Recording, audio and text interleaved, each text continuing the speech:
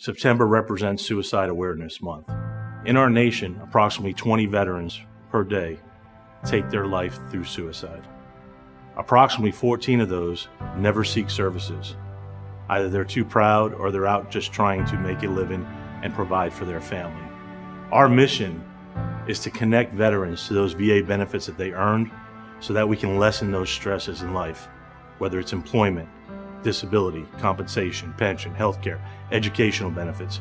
Many of our veterans that serve are entitled to uh, full tuition and assistance, books, housing, and allowances to help them transition back into the civilian community. We're here to connect them to those benefits.